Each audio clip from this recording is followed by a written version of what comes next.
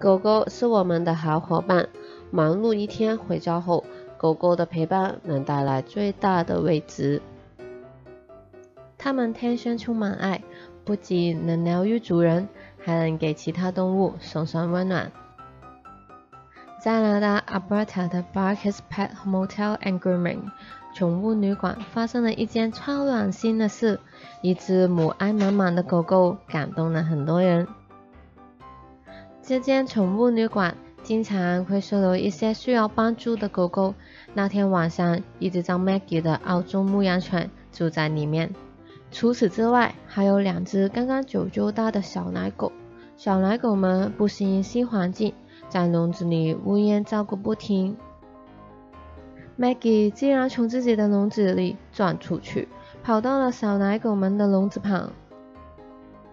宠物旅馆的负责人 Alex 透过手机查看馆内的监视器时，发现 Maggie 不见了。他吓了一跳，还以为 Maggie 跑掉了，但很快就发现了真相。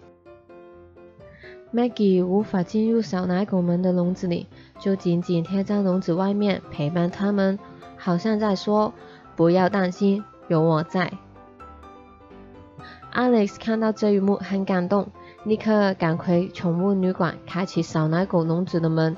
Maggie 立刻冲进去，跟小狗们窝在一起，就像他们的妈妈一样。后来，Maggie 由当地的动保组织照顾。Alex 将这个故事抛到网络上后，那两只小奶狗也很快就找到新家。